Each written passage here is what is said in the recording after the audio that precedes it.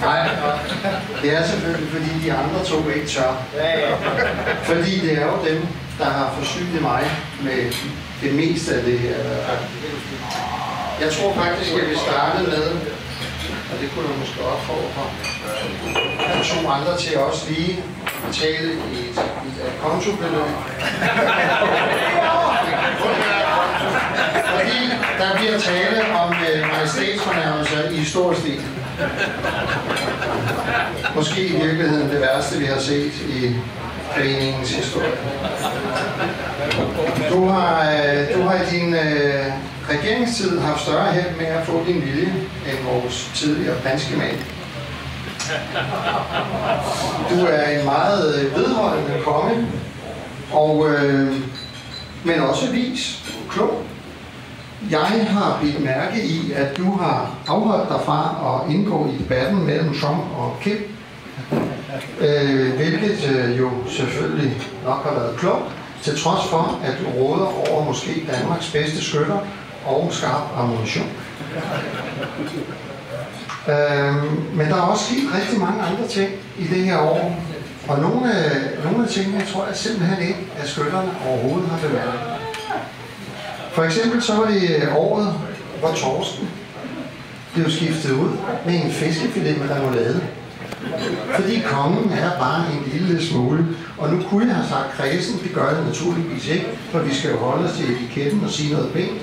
Men i hvert fald selektiv i sin smagsløg.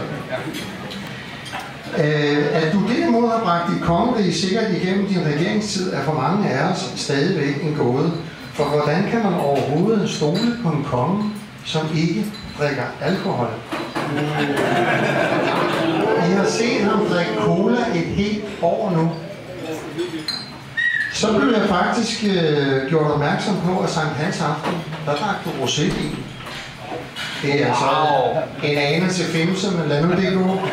Men hvad der er det værste, synes jeg, det er i virkeligheden, at når du ikke er blandt dine skytter og undersåtter, ja, så kan du godt drikke alkohol. Jeg ved ikke, om der gemmer sig et eller andet bag det der, men øh, Ja, se hvor galt det kan gå. du har i hvert fald med stoisk ro kæmpet dig igennem det her år, og det, har vi, øh, det er vi rigtig glade for. Vi ved jo af gode grunde ikke, hvem den nye konge bliver, men, øh, men vi ved jo, at du har en forkærlighed for kongehuset. Vi ved jo også, at der er en inde i kongehuset, som godt kunne tænke sig at blive konge. Så hvem ved, måske er der en lille overraskelse på vej. Nu skal vi, nu skal vi til det mere personlige.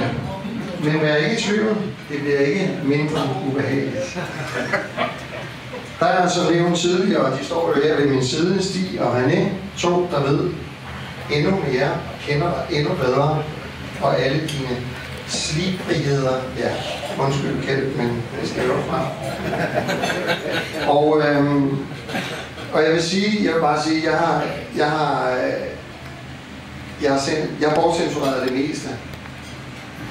Annette, op på taget.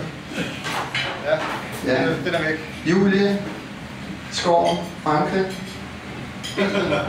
Bummelum. Den holder vi fuldstændig for os selv, men naturligvis er vi øh, til falds for en fred senere, hvis der er nogen, der vil høre lidt om Annette og Julie. Fordi hvem er kong Claus egentlig? Vi har jo lært hinanden at kende, øh, alle tre, fire, og så, øh, på Hotel Scan- SAS Skandinavia, som det hed dengang. I øvrigt øh, på et tidspunkt, hvor Jørgen Sten Larsen også arbejdede derinde. Ja, du ved godt, det er godt, det ikke er dig, jeg skal holde tale for det, ikke? Uha. Nå. Vi, øh, vi arbejder alle sammen med sikkerhed, enten på hotellet eller inde på casinoet. Og allerede dengang stod det klart for os alle, og Claus selv, ikke mindst, at han var en mand med vingetillid. En meget viril type af slagsen, hvis du selv skal sige det.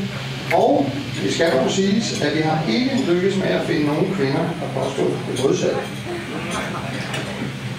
Alle historierne, som jeg siger, øh, som er de mest slibrige, har René Stig forsynet mig med.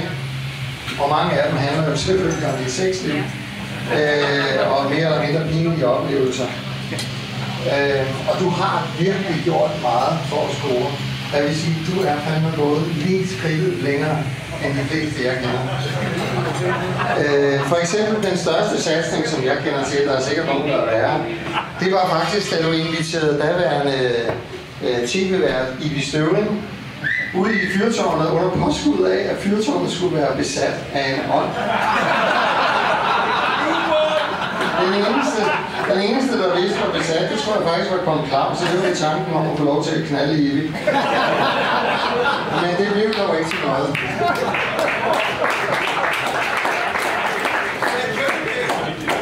Derimod, derimod, så blev dronning Søs forelsket. Og i dag er du jo gift med det dejligste kvindemenneske, man kan tænke sig.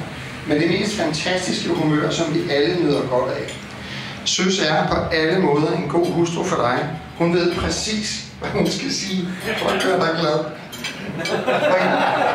Og det er ikke engang noget, jeg bare finder på for at være sjov, det er vel. Men for eksempel dengang, hun vil lave en afstøbning af dine genitaler. Alene på grund af størrelsen. De er givetvis ikke blevet mindre med årene. Men dronning Søs udtaler dog, at med den royale vogn, du har tillagt, der fordelen med altså til at se en lille smule mindre.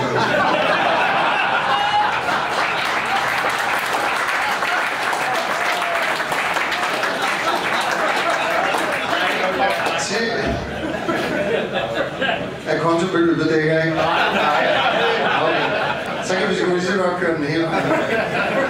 Til trods for din tilbageholdenhed med alkohol, har du altid været en enorm festlig fyr at være sammen med. Du har altid gået langt for at fuldende festen, for at gøre den perfekt. Som dengang du holdt Moulin Rouge-fest og farvede dit hår sort for at ligne hovedpersonen. Sidst men ikke mindst er du en rigtig god og trofast kammerat af Saxen. Du stiller altid op, når vennerne har brug for hjælp. Passer umulige teenagebørn, passer deres hund, eller hjælper med de praktiske hængemandsting, og altid til perfektion. Stig fortæller blandt andet, at da han stoppede på casinoet, skrev alle kollegaerne et par penge ord til ham, men ikke Claus. Claus, han skrev en hel bog om Stig og deres tid sammen. Med disse ord håber jeg at givet skytterne en indførelse i, hvem kong Claus er, i hvert fald som vi kender ham, og som vi vil være bekendt og fortælle om. Og så vil jeg bare sige tak for din regeringstid.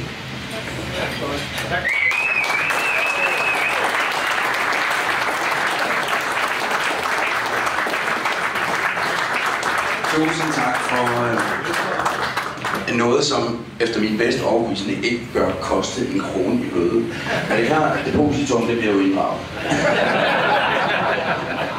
Og ikke grund til at få noget tilbage. Nej, det her, øh, det betyder, at vi rejser os op og udbringer en leve, rigtig skønt leve for kongen.